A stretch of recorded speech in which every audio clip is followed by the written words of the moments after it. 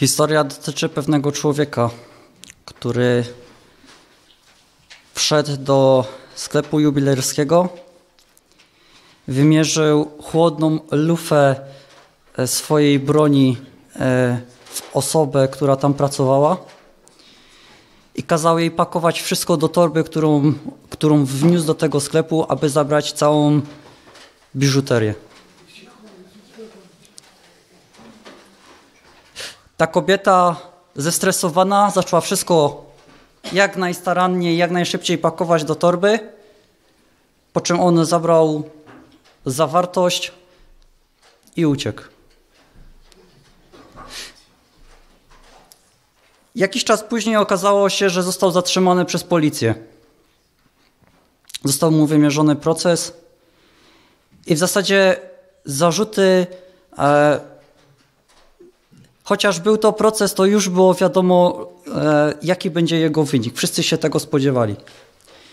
No i tak sąd przesłuchiwał kolejnych świadków, którzy zeznawali ze swojej perspektywy, co wiedzą o tym wydarzeniu. Też pojawiła się ta pani, która e, wtedy w tym dniu akurat pracowała i spotkała się z tym człowiekiem, który kazał jej wkładać e, biżuterię do torby. Mówiła o całym swoim roztrzęsieniu, o strachu, który przeżywała, o tym, że w każdej chwili przecież broń mogła wypalić, a jej już by nie było. Wszyscy, którzy byli na sali, pomyśleli sobie, że dobrze będzie takiego człowieka skazać, no bo kto dokonuje takich rzeczy? Oczywiście wszyscy mamy swoje problemy.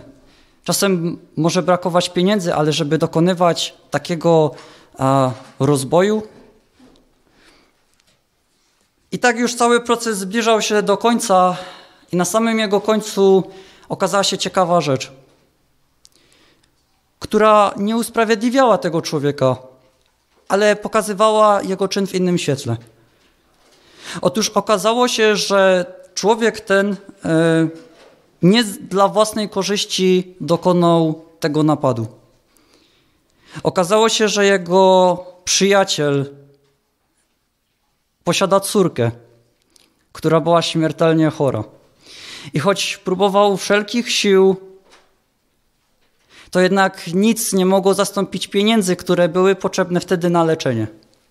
Ten przyjaciel nie mógł wziąć też kredytu na to leczenie, dlatego że pożyczył, że już wcześniej wziął kredyt e, właśnie dla swojego przyjaciela, czyli dla tej osoby, która obro, obrobiła ten, e, ten sklep. I ten pomyślał w taki sposób, że teraz, kiedy jego córka znalazła się w tak wielkim nieszczęściu i widział bezradność swojego przyjaciela, to był gotowy zrobić to, po to, aby uratować temu dziecku życie i był gotowy ponieść za to konsekwencje. Jak myślicie, czy ta okoliczność dla Was byłaby jakąś okolicznością łagodzącą? Sąd zadecydował, że tak. Dlatego przy wymierzeniu kary uwzględnił to wszystko i wymierzył mu łagodniejszy wymiar kary. Ale dlaczego ja o tym mówię? Dlatego, że myślę, że w naszym życiu spotykamy różne osoby z różnymi doświadczeniami, z różnymi charakterami, z różnymi osobowościami. I czasem wydaje się, że osoba, którą właśnie spotykamy, która jest nieraz tak paskudna w charakterze, jest tak zła i robi tak potworne rzeczy, to zasługuje na potępienie i zasługuje na to, co najgorsze. Bo nie ma usprawiedliwienia dla grzechu. Jeszcze jako chrześcijanie moglibyśmy powiedzieć, zapłatą za grzech jest śmierć. W czasach Mojżesza, jeżeli ktoś dopuścił się grzechu, jeżeli pojawił, jeżeli ktoś dopuścił się a, jakiegoś grzechu, który został mu dowiedziony, najczęstszą karą to była śmierć. I my powiemy, no my to rozumiemy, rozumiemy pewne okoliczności, ale żeby tak się zachować. No właśnie, ale myślę, że jakkolwiek na to nie popatrzymy, to jesteśmy zgodni co do tego, że e, w takich okolicznościach, jak, ta, jak przedstawiała ta historia na samym początku, e, warto kierować się wyrozumieniem dla drugiego człowieka. Dlatego, że nie wiemy, dlaczego drugi zachowuje się w taki, a nie inny sposób. Nie wiemy często, co go motywuje do takich, a nie innych czynów. Nawet jeżeli wydaje się, że przecież jesteśmy pewni, to nie do końca, dlatego że nikt nie jest w stanie zajrzeć drugiemu człowiekowi do serca. Więc dobrze jest w takich naszych codziennych relacjach kierować się wyrozumieniem. A jeżeli jeden przeciwko drugiemu zawini, kierować się przede wszystkim przebaczeniem. Ale co jeżeli spotykamy osoby, co do których myślimy, że oni nie mieli żadnego powodu, by tak się zachować? Co jeżeli myślimy, że przecież mój przyjaciel, mój kolega, współpracownik e, nie miał tak trudnej sytuacji, a pomimo to wciąż jakby wydaje się, że działa przeciwko mnie. Wciąż robi coś, żeby utrudnić i uprzykrzyć mi życie. Co zrobić w sytuacji, w którym ja widzę, że ktoś ewidentnie robi coś, żeby żeby odnieść satysfakcję z powodu tego, że ja cierpię. Kiedy wydaje się, że nie ma powodu, dla którego ktoś coś zrobi. Co zrobić z osobami, jeżeli e, czasem bez mrugnięcia okiem potrafią dokonywać strasznych rzeczy i robią to tylko dlatego, że daje im to satysfakcję.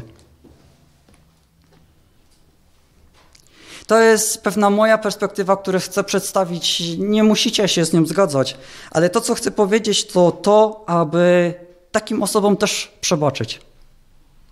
Dlaczego? Dlatego, że Boże, Boże miłosierdzie i Boża łaska jest stała i jest dla każdego.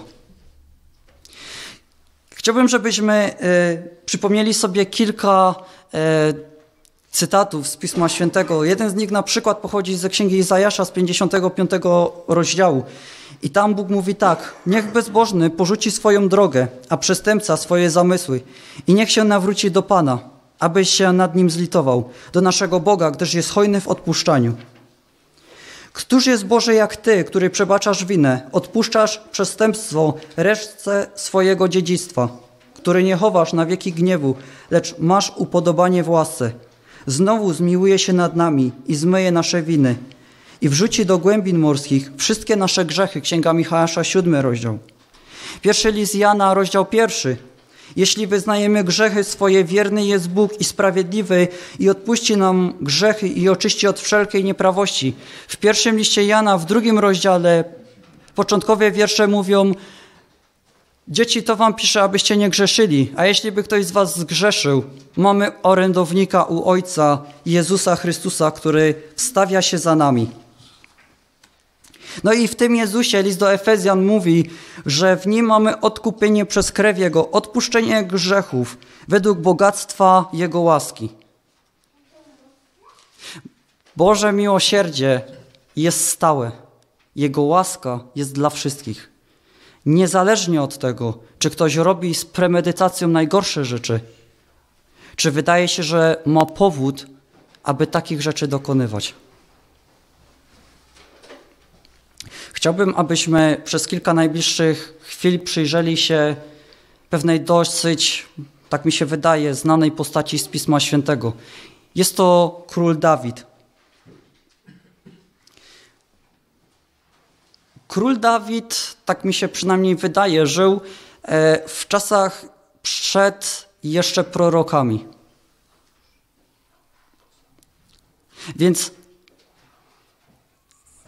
on nie mógł czerpać wiedzy z pism e, prorockich, przynajmniej w takiej ilości, w jakiej my możemy dzisiaj czerpać.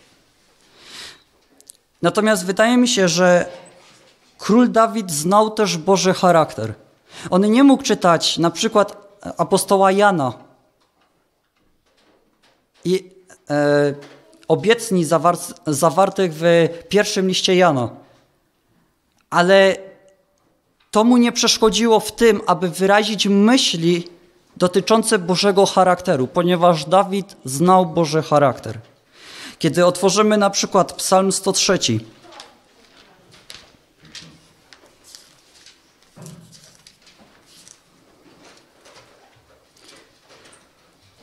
Tam Dawid mówi tak, od wiersza ósmego: Miłosierny i łaskawy jest Pan, cierpliwy i pełen dobroci, Nie prawuje się ustawicznie, nie gniewa się na wieki, nie postępuje z nami według grzechów naszych, ani nie odpłaca nam według win naszych. Lecz jak wysoko jest niebo nad ziemią, tak wielka jest dobroć Jego dla tych, którzy się Go boją. Jak daleko jest wschód od zachodu, tak oddalił od nas występki nasze. Jak się lituje ojciec nad dziećmi, tak się lituje Pan nad tymi, którzy się Go boją.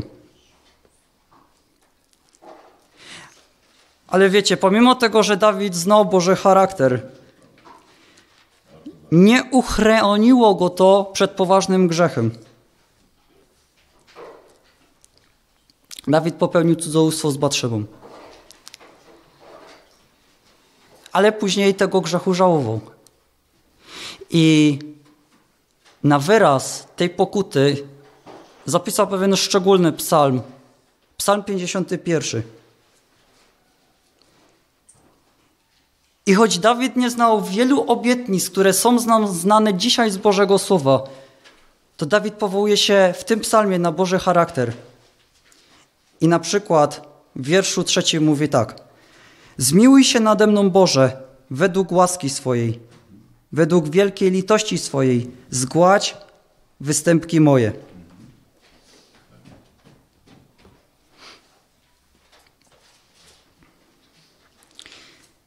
Wiersz dziewiąty mówi tak. Pokrop mnie hizopem, a będę oczyszczony, obmyj mnie, a ponad, a ponad śnieg bielszy się stanę.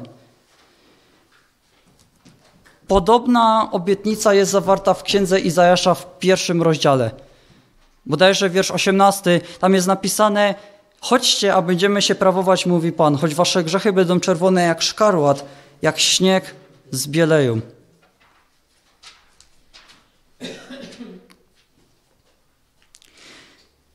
Dawid prosi o przebaczenie. Ale w kolejnych zdaniach też padają bardzo ciekawe słowa. Chciałbym, żebyśmy zwrócili uwagę e, na wiersze od 12. Tam król Dawid mówi tak: Serce czyste stwórz we mnie, o Boże, a ducha prawego odnów we mnie. Nie odrzucaj mnie od oblicza swego i nie odbieraj mi swego ducha świętego. Przywróć mi radość z wybawienia Twego i wesprzyj mnie duchem ochoczym.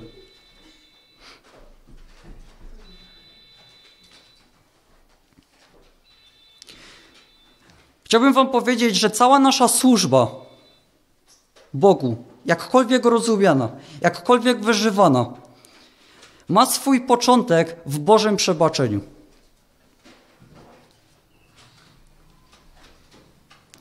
I ja rozumiem, że kiedy my podajemy się Bogu, kiedy chcemy Mu służyć, to Jego Duch zaczyna w nas wykonywać pewne szczególne dzieło, dzieło uświęcenia, co nie znaczy, że jeżeli człowiek nie przyjmuje Chrystusa, to Duch Święty na niego nie działa. Bo działa, ale kiedy człowiek decyduje się podążać za Bogiem, daje Bogu szczególne przyzwolenie na to, że Duch Święty może kierować jego sercem i może kierować jego umysłem. I Dawid mówi: Serce czyste stwórz we mnie, o Boże. Tak naprawdę to myśl rozwinie później apostoł Paweł, e, jakkolwiek to zabrzmi, myślę, że może nie najgorzej to zabrzmi, ale apostoł Paweł rozwinie to przez swoją teologię. Oczywiście teologię opartą na słowie. Natomiast jednym z takich e, fragmentów, gdzie możemy to zauważyć, myślę, jest list do Kolosan, rozdział trzeci.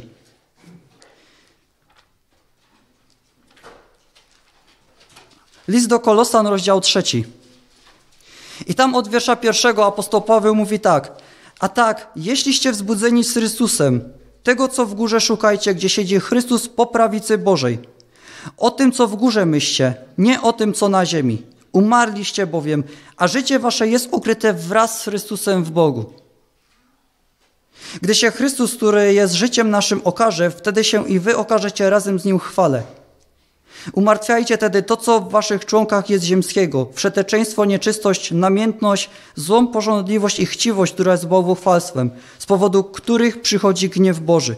Paweł mówi, e, umarliście w Chrystusie. Tak, bo kiedy otworzymy list do Efezjan, tam przeczytamy, że wy umarliście przez upadki i grzechy wasze. Ale Słowo Boże mówi, że w Chrystusie jesteśmy ożywieni. Umarliśmy. Ale tak jak Chrystus powstał do nowego życia, tak i my w Chrystusie możemy mieć nowe życie.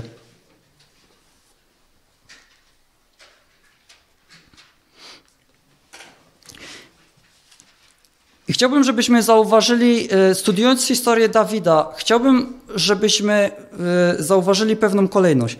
Dawid najpierw, on widzi swój grzech i później mówi, Boże, przebacz mi.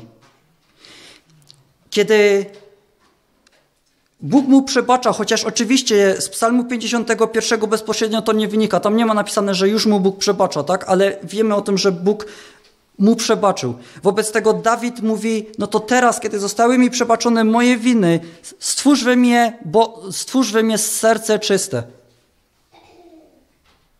I teraz powiedzieliśmy, że te serce czyste może zostać stworzone, może być odnawiane z każdym dniem w momencie, kiedy my się angażujemy bo, w Bożą służbę, kiedy zaczynamy podejmować pewną inicjatywę, aby służyć Bogu. To jest pewien proces.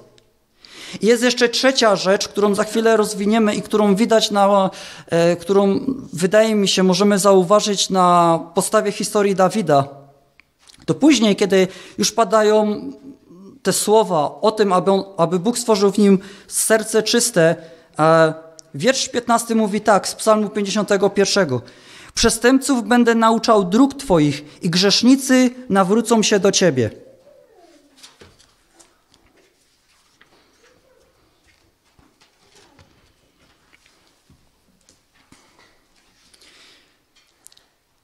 I podobnie, podobnie jest w naszym doświadczeniu. My przychodzimy do Boga, mówimy: Boże, widzę swój grzech, ale Ty jesteś bogaty w łaskę, mamy, mam, polegamy na Bożych obietnicach. I kiedy wierzymy, że Bóg nam wybacza ten grzech, to mówimy: No to Boże, no to my chcemy teraz iść z Tobą dalej. Odnawiaj nas z każdym dniem, spraw, abyśmy już dłużej w ten grzech nie popadali. Stwórz w nas serce czyste. Ale skoro mamy takie pragnienie, to to nas prowadzi do trzeciej rzeczy, mianowicie do tej, do której prowadziło Dawida, czyli chcemy innych nauczać właśnie o Bogu. Chcemy innym powiedzieć, słuchajcie, jest taki, a nie inny Bóg. Chcemy ich prowadzić i nauczać ich tego, co, co e, o czym mówi Słowo Boże. Ale zauważcie jedną rzecz. Mówimy o tym wszystkim w kontekście przebaczenia. I teraz jak mamy iść do innych osób?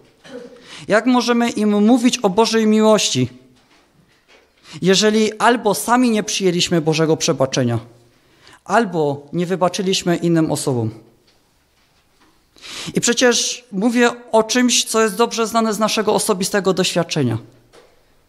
Jak wybrać się na spotkanie modlitewne i modlić się wspólnie z osobami, co do których czujemy złość? Jak iść na misję z osobami i z moim bratem i podać mu rękę, jeżeli dwa dni temu zaszedł mi tak za skórę, że nie chcę go nawet widzieć? Jak to zrobić? A, a teraz nie będziemy tego poruszać, ale wiemy dobrze, że jako Kościół powinniśmy się cechować pewną wspólnotą, tym, aby razem iść do przodu. Jak to zrobić? Bez przebaczenia. Dlatego, że nikt nie jest doskonały. Jak to zrobić? To jest moje zdanie, ale wydaje mi się, że nie bardzo da się to zrobić. Bez przebaczenia. Nie bardzo da się innych nauczać i iść do nich, jeżeli najpierw samemu się nie otrzymało przebaczenia. Żeby była w nas ta siła, aby opowiedzieć innym, zobaczcie, jak dobry jest Bóg, który przebacza. Ale znowu z drugiej strony, jak współpracować z innymi, jeżeli im nie przebaczyliśmy, z naszymi braćmi i siostrami. A idąc jeszcze dalej, jak iść do ludzi, którzy nie znają Boga, nie znają, nie znają Ewangelii, jeżeli my czujemy do nich gorycz. Jak iść do mojego sąsiada i mu powiedzieć o Chrystusie, jak ten sąsiad jest nieraz najgorszą rzeczą, jaką mogła mi się w życiu przytrafić. I żałuję, że, że musiał zamieszkać obok mnie. Jak to zrobić?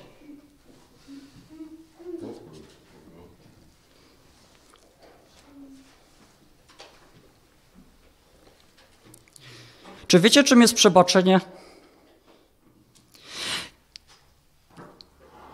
Kiedy ktoś zawinił przeciwko nam, wywołał pewien ból, przede wszystkim emocjonalny. I sprawiedliwość domaga się tego, żeby on za ten ból zapłacił. Tak uczy Boże prawo. I Chrystus był tym, który przyszedł i wziął ten cały ból, te wszystkie winy na siebie i zapłacił za nie wszystkie. Więc jeżeli my mamy przebaczyć innym, to jak to się dzieje? No właśnie dzieje się to w taki sposób, że ktoś, kto przeciwko mnie zawinił, wywołał pewien ból. Ale ja go uwalniam. Mówię, ja poniosę ten ból. To boli. Ale to nie ty będziesz za niego płacił, tylko ja. To ja przynoszę, to ja ponoszę konsekwencje za twój, za twój grzech.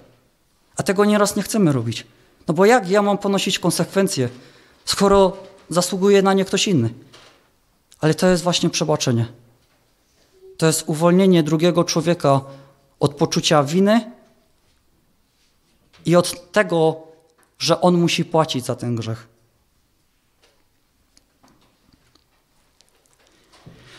A idźmy jeszcze dalej i powiedzmy o ludziach, którzy są naszymi nawet wrogami, którzy bez przerwy, byśmy powiedzieli, robią nam podgórkę. Jak mamy im zwiastować Chrystusa? Oni go nie potrzebują? Tak samo im musimy przebaczyć. Ale wszystko bierze swój początek od tego, że my sami musimy doświadczyć Bożego przebaczenia.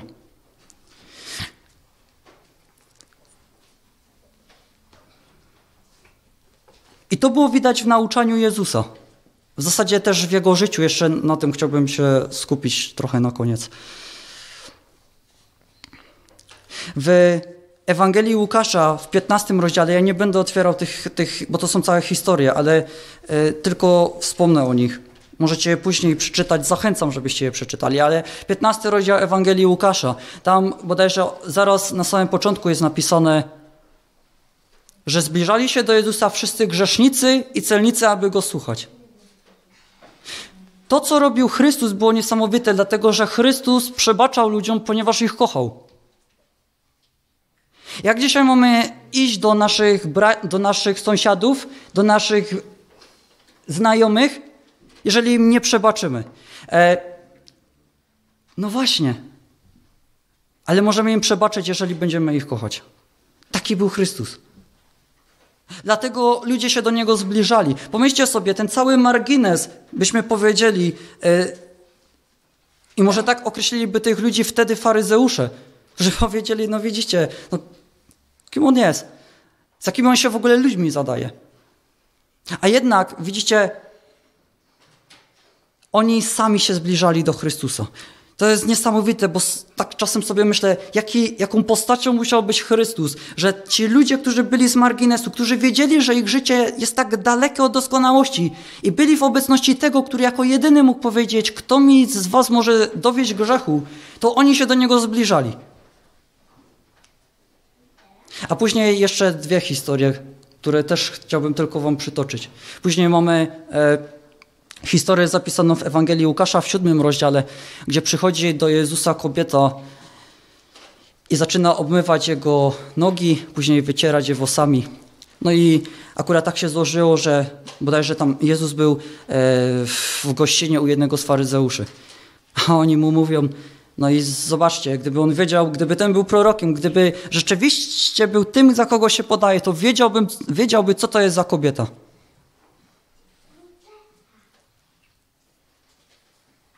Wiedziałby, że ona nie zasługuje na przebaczenie.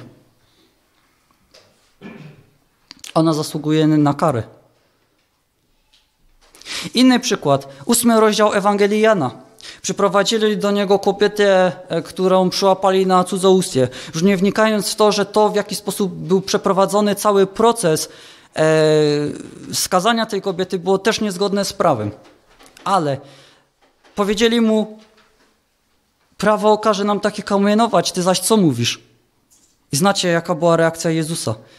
Jezus nigdy nie pomniejszał wagi grzechu. On zawsze grzech nazywał po imieniu. Ale znowu z drugiej strony miał takie wyrozumienie, wyrozumienie dla słabych, grzesznych ludzi, jakiego nikt nie potrafił nigdy mieć i okazać. Dlatego, że Chrystus kochał ludzi. I kocha. I to są pewne historie, w których widzimy Jezusa, jak On się zachowuje, ale czego Jezus później uczy swoich naśladowców. No na przykład znajdujemy wiersz w Ewangelii Marka w 11 rozdziale. Jezus mówi, a gdy stoicie i zanosicie modlitwy, odpuszczajcie, jeśli um, macie coś przeciwko komu, aby i Ojciec odpuścił wam wasze przewinienia. Ewangelia Marka, rozdział 11. Ewangelia Mateusza, rozdział 5. I tam od wiersza 38 Jezus mówi: Słyszeliście, iż powiedziano oko za oko, ząb za ząb. A ja wam powiadam: nie sprzeciwiajcie się złu. A jeśli cię kto uderzy w prawy policzek, nastaw mu i drugi. A temu, kto chce się z tobą procesować i zabrać ci szatę, zostaw i płaszcz. A kto by cię przymuszał, żebyś szedł z nim jedną milę, idź z nim i dwie. Temu, kto cię prosi, daj, a od tego, który od ciebie e, chce pożyczyć, nie odwracaj się. Słyszeliście, że powiedziano: Będziesz miłował bliźniego swego, a będziesz miał w nienawiści nieprzyjaciela swego. A ja wam powiadam: miłujcie nieprzyjaciół waszych i módlcie się za tych, którzy was prześladują, abyście byli synami Ojca waszego, który jest w niebie, bo słońce jego wschodzi nad złymi i dobrymi, i deszcz pada na sprawiedliwych i niesprawiedliwych. Bo jeśli byście miłowali tylko tych, którzy was miłują, jakąż macie zapłatę? Czyż i celnicy tego nie czynią? A jeśli byście pozdrawiali tylko braci waszych, cóż osobliwego czynicie? Czyż i poganie tego nie czynią? Bądźcie wy tedy doskonali, jak i Ojciec wasz doskonały jest. Tak przy okazji chcę tylko zaznaczyć, że wbrew powszechnej opinii Jezus tutaj nie zmienia prawa mojżeszowego. Nie będziemy teraz tego studiować, ale jeszcze chciałbym wam przeczytać inne e, wiersze. E, Ewangelia Mateusza, 18 rozdział. Tam Piotr mówi do Jezusa, jeżeli ktoś, jeżeli mój brat zawini, czy mam mu przebaczyć aż siedem razy? Jezus mu mówi, nie powiedziałem ci siedem razy, ale siedemdziesiąt siedem razy, co znaczy, że tak naprawdę powinieneś przebaczać w nieskończoność. I co ciekawe, Jezus nie mówi, że masz przebaczać w nieskończoność, jeżeli ten człowiek do ciebie przyjdzie, poprosi cię. On nie mówi, przebaczaj w nieskończoność, jeżeli uznasz, że ten grzech nie był aż tak wysoki. Po prostu przebaczaj. W Ewangelii Łukasza w szóstym rozdziale czytamy: Nie sądźcie, a nie będziecie sądzeni, i nie potępiajcie, a nie będziecie potępieni. Odpuszczajcie, a dostąpicie odpuszczenia. Ok, chciałbym, żebyśmy to podsumowali, co dotychczas powiedzieliśmy. E, takie trzy jakby główne punkty poruszyliśmy. Po pierwsze, to, abyśmy przebaczali z uwagi na to, że nie znamy, w jakiej sytuacji znajduje się drugi człowiek. E, druga rzecz, abyśmy przebaczali zawsze. Abyśmy przebaczali, e, ponieważ ta nasza miłość i to przebaczenie może innych właśnie doprowadzić do Chrystusa. I trzecia rzecz, którą chcę podkreślić, to jest to, że żebyśmy przebaczali, abyśmy uwolnili siebie od gniewu, od goryczy, od gorzkości, abyśmy innych mogli kochać i służyć im, tak jak służył im Chrystus. I teraz na koniec e, jeszcze tylko kilka zdań wyrażę, bo chciałbym się z Wami podzielić tym, jak ja od pewnego czasu postanowiłem w sposób taki praktyczny e, wprowadzać to w życie. To, o czym powiedzieliśmy. Możecie z tego skorzystać. Mam taki zwyczaj, że raz dziennie, zazwyczaj wieczorem, przypominam sobie wszystkie te sytuacje i osoby, które mnie skrzywdziły. I nawet osoby, które nie są tego świadome. A później się modlę i mówię: Boże, przebaczam. Mi osobiście daje to to, że kiedy wstaję następnego dnia, to nie muszę patrzeć na tego człowieka i myśleć i patrzeć na niego przez pryzmat tego, co mi zrobił, bo to nie jest istotne. Nie jest istotne, jeżeli przebaczycie.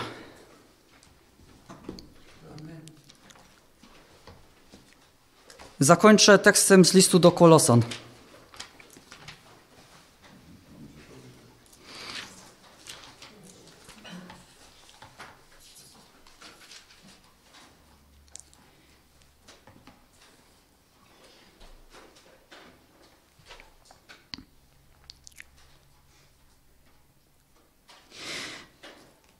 Pamiętacie teksty, które czytaliśmy poprzednio, jak apostoł Paweł wymienił kilka cech, z powodu których przychodzi gniew Boży. Dalej apostoł Paweł pisze tak, od wiersza siódmego. Niegdyś i wy postępowaliście podobnie, kiedy im się oddawaliście, ale teraz odrzućcie i wy to wszystko. Gniew, zapalczywość, złość, bluźnierstwo i nieprzyzwoite słowa z ust waszych nie kłamujcie się nawzajem, skoro zewlekliście z siebie starego człowieka wraz z uczynkami jego, a przyoblekli nowego, który się odnawia ustawicznie ku poznaniu na obraz tego, który go stworzył. W odnowieniu tym nie ma Greka ani Żyda, obrzezania, ob, obrzezania ani nieobrzezania, cudzoziemca, scyty niewolnika, wolnego, lecz Chrystus jest wszystkim i we wszystkich. Przeto przyobleczcie się jako wybrani Boży, święci i umiłowani, w serdeczne współczucie, w dobroć, pokorę, łagodność i cierpliwość, znosząc jedni, drugim, jedni drugich i przebaczając sobie nawzajem. Jeśli kto ma powód do skargi przeciw komu, jak Chrystus odpuścił wam, tak i wy. A ponad to wszystko przeobleczcie się w miłość, która jest spójnią doskonałości. Amen.